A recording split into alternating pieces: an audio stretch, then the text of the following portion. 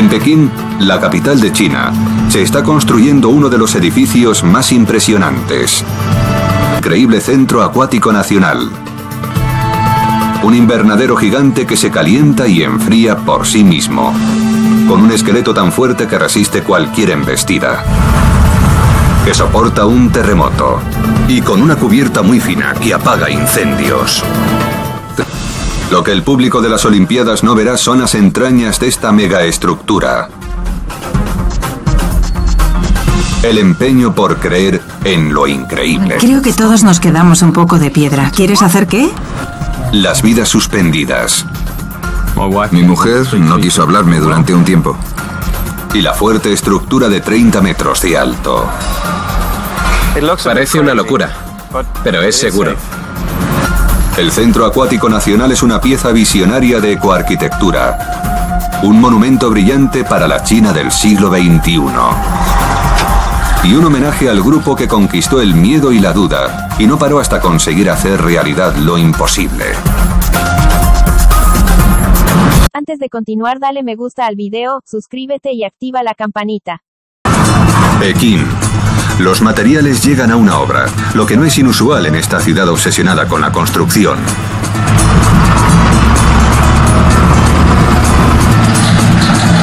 Pero estos materiales y este edificio son diferentes, muy diferentes.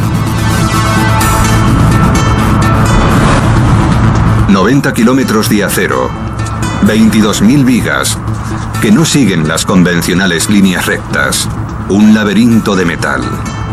Hay acero suficiente para dar más de 200 vueltas a una pista olímpica de atletismo. Y cubierta de plástico. 100.000 metros cuadrados.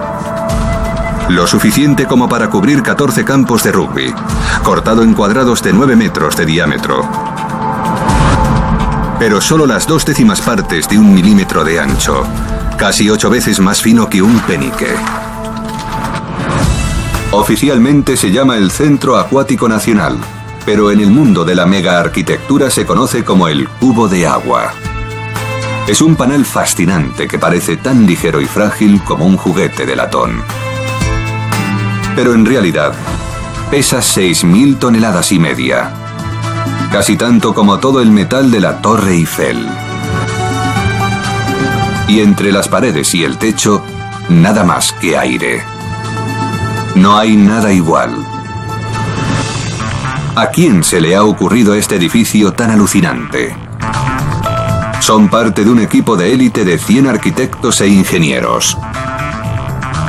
Un equipo que imaginó una idea original, alucinante y aparentemente imposible. Y la convirtió en realidad. Sydney, Australia, 2002. El estudio de arquitectos PTW y los ingenieros en estructuras de la australiana RUP se unieron a un consorcio chino liderado por la constructora estatal china CSCC. Y fueron por uno de los contratos más codiciados de la construcción. Hay tensión desde el primer día. China ha invitado a los arquitectos más importantes del mundo a transformar Pekín en una ciudad olímpica como nunca se había visto antes. El objetivo del equipo chino-australiano. Diseñar y construir un prestigioso recinto de natación para las Olimpiadas. E inmediatamente se encuentran de bruces con un proyecto descorazonador. El Estadio Olímpico Nacional, también llamado El Nido de Pájaro. Una obra maestra imponente a solo un kilómetro del lugar donde se erigirá el centro acuático.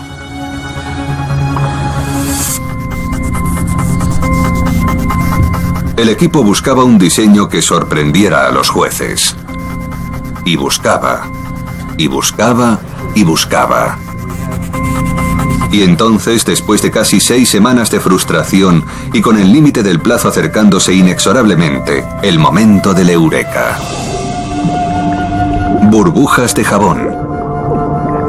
A pesar de que parezca que lo hacen al azar, las burbujas de jabón siempre se unen en patrones regulares en células de 12 a 14 lados. La división de espacio más eficiente de la naturaleza.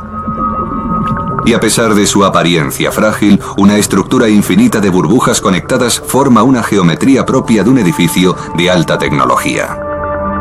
Lo bastante resistente como para ser el modelo de una megaestructura. Tres membranas de jabón siempre se juntan en 120 grados como el símbolo de Mercedes y en esa línea en la que se unen los tres símbolos hay un eje que podemos utilizar como estructura, así que colocamos un tubo por debajo. Cuatro de las líneas se unen siempre formando un nódulo en el que podemos insertar una vara y meter tres piezas más formando una estructura. Por fin, el equipo tiene un diseño lo suficientemente atrevido y original como para ganar la competición. Lo que no tienen es tiempo. Lo más duro fue hacer el modelo para enseñar a los jueces cómo quedaría el edificio una vez terminado. Nadie sabía si era posible construir el modelo de un edificio tan complejo en cinco semanas. Estábamos desesperados. En ese momento nos quedaban dos semanas y no sabíamos cómo íbamos a presentar la maqueta.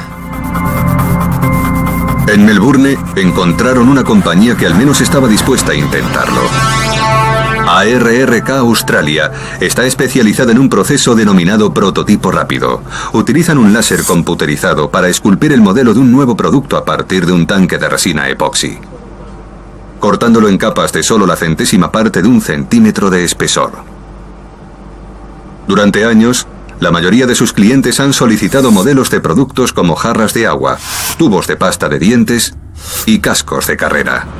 Entonces decidimos dividir el cubo de agua en secciones. Y PTW, los arquitectos, vinieron con equipaje de mano, metieron cada sección en sus bolsas y volvieron con ello a Pekín. Creo que en ese momento solo nos quedaban unas horas. El modelo terminado llegó antes de la fecha límite de la competición. El equipo esperaba la decisión de China. Sabían que perder sería duro, pero también que ganar y tener que construir algo que nunca antes se había hecho podría ser incluso peor. Julio de 2003. Después de casi cuatro meses trabajando siete días a la semana, día y noche, el equipo del cubo de agua tiene noticias. Votando por internet, los chinos habían decidido que el cubo de agua se convirtiera en el centro olímpico de natación. La reacción del equipo, alegría, seguida de pánico. Cuando volvieron de la competición, Tenían algunas imágenes. Así es como será. Creo que todos nos habíamos imaginado que sería un recinto acuático más simple.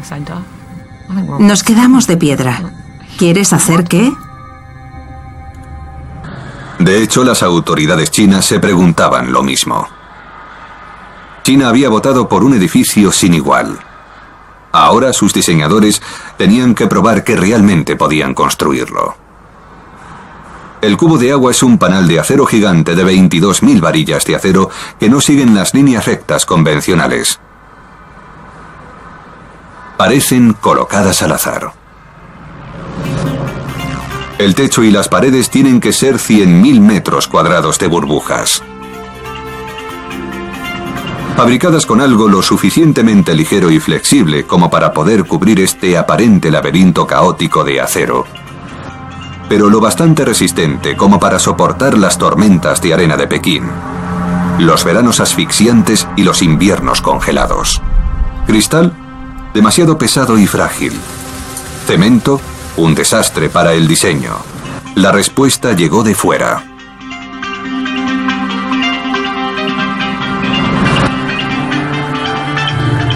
Os presento al increíble ETFE.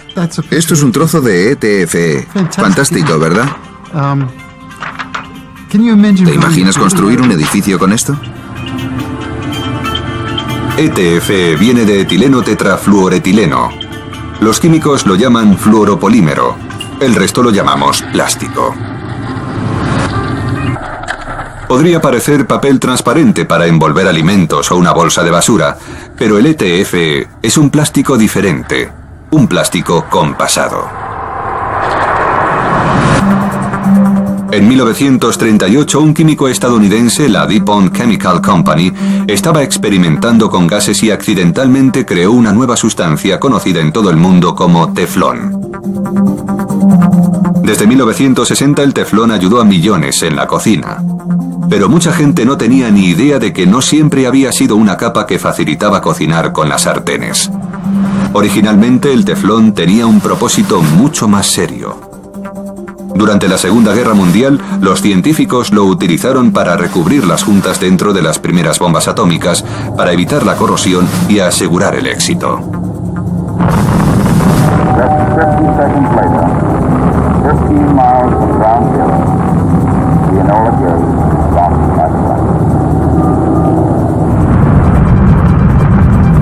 En 1970 Estados Unidos estaba enviando cohetes y astronautas más allá de la atmósfera de la Tierra y necesitaban protegerlos de la radiación cósmica. Así que la NASA y DuPont manipularon la estructura química del teflón y crearon el ETF.